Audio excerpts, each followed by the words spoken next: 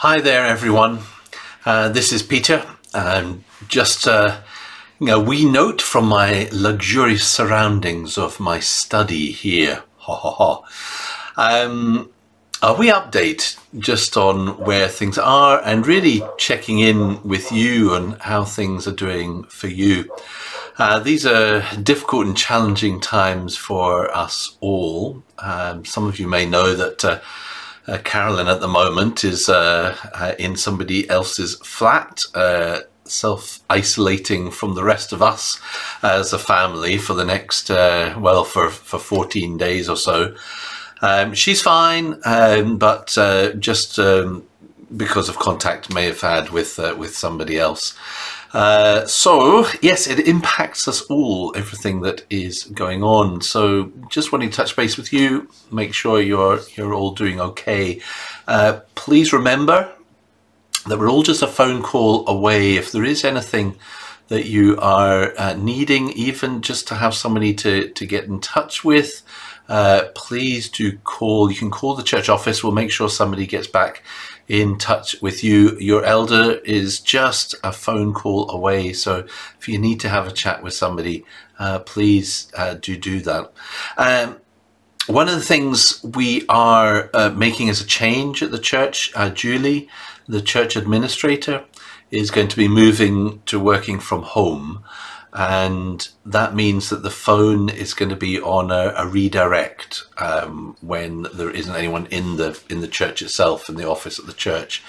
Um, we're gonna, we've changed the hours a little bit when the church office would otherwise be uh, manned, so we've moved it to 10 a.m. to 1 p.m. and we'll try to keep to those hours. So Julie will answer the phone uh, during that time period. The rest of the time you can leave a message and we'll pick that up. Uh, so that's what's happening there, but uh, very much the church office still being, um, even if it is not within the church, uh, but still a place to send information backwards and forwards so that we know what, uh, what's going on. Worship is still continuing we're doing that online as uh, we were doing, uh, you know, it's our normal pattern of things, but we're trying to expand that in different ways. We had the first of our Lent study series online using Zoom and it worked okay. There was a few wee issues, but it was quite complicated because we had different files we're showing and videos and all kinds of things, but it seemed to work okay. We'll have another one of those this Sunday evening. There is a link on the church website, on the homepage of the, the church website. So if you want to try that out, um, you'll find the link there. You need a computer that's got a webcam and kind of audio and a microphone. Now most laptops or tablets or even a phone, some people are using, it should be fine. Um, if you're on a desktop computer, it does need a webcam for us to be able to see you, though you may be able to listen in anyway. Um, it's all very experimental, this, as we try out uh, how things can work and what's the best way of doing things. But we're trying, and uh, the more of you want to join in, um, the better. Sunday worship is continue on. We'll have another service this uh, Sunday morning, usual time of 11 a.m.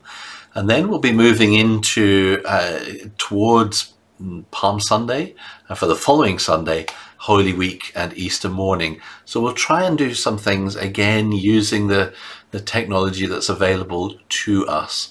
Um, we'll try to do something there'll be a service on Palm Sunday morning, but maybe the evening as well. There'll be a bit more interactive. So uh, keep an eye on the website for um, details of what we'll be doing and the link so that you can get access to that. And then again through Holy Week we'll try and do and David Stewart at South Holburn and I are kind of thinking through some of these things, how we can do it and especially how to do it with a bit of engagement from, from other people uh, there. So we'll see how that goes. For Easter morning, I haven't quite thought through what we're going to do for Easter morning yet, but one thing to keep in mind, if you've got a chocolate egg to hand, then maybe uh, just keep one of those eggs aside. So for whatever we do on Easter morning, um, keep that there and we'll maybe use that. In other things that are going on, of course, most of the things in the church, that's everything's closed down. All the groups and organizations, as with uh, everything else, has, has, all come to an end uh, during this period. But we are trying to keep some community involvement, uh, most of that taking place by either online or phone um, or by email, and just trying to get an engagement with people who might be in need uh, who might have particular vulnerability or a situation arises and they need a bit of support. And it's great. There have been uh, around 70 volunteers who have offered to help with that from the from the community. And uh, so uh, we're trying to coordinate that. We're doing that across the four other churches with South Holburn, with Ruthrieston West, and St John's, the Episcopal Church and uh, trying to do the best we can in very difficult circumstances to help our neighbours out. Um, so just keep tabs on that, what's happening, and we'll try to keep you up to date with what's going on there. You might have heard about it already, uh, seen a bit of information about it. Well, that's there uh, in case anyone needs it for emergency emergency situations if anyone's needing some support. Well, that's a wee update just on kind of what's going on at the moment. Uh, things are changing all of the time. Um, please make sure that you keep yourselves safe, wash hands diligently, and uh, look out for one another as much as you can. I'd just like to end with a reflection. It comes from uh, a, colleague of mine, uh, Lezley Stewart, is uh, another minister, and she's written these words for our time at the moment. There were other doors once locked in fear in a time of waiting and distress.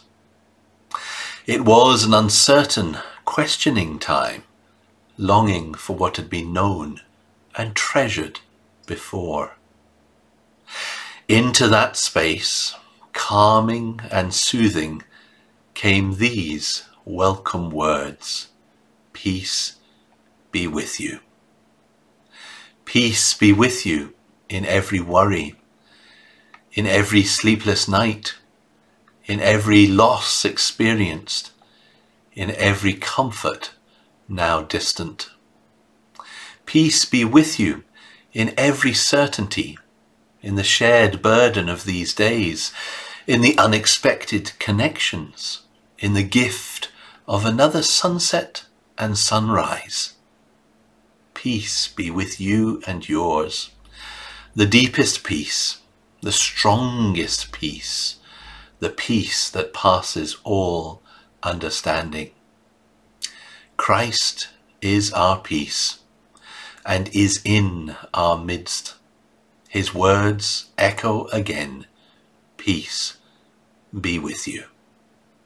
Amen.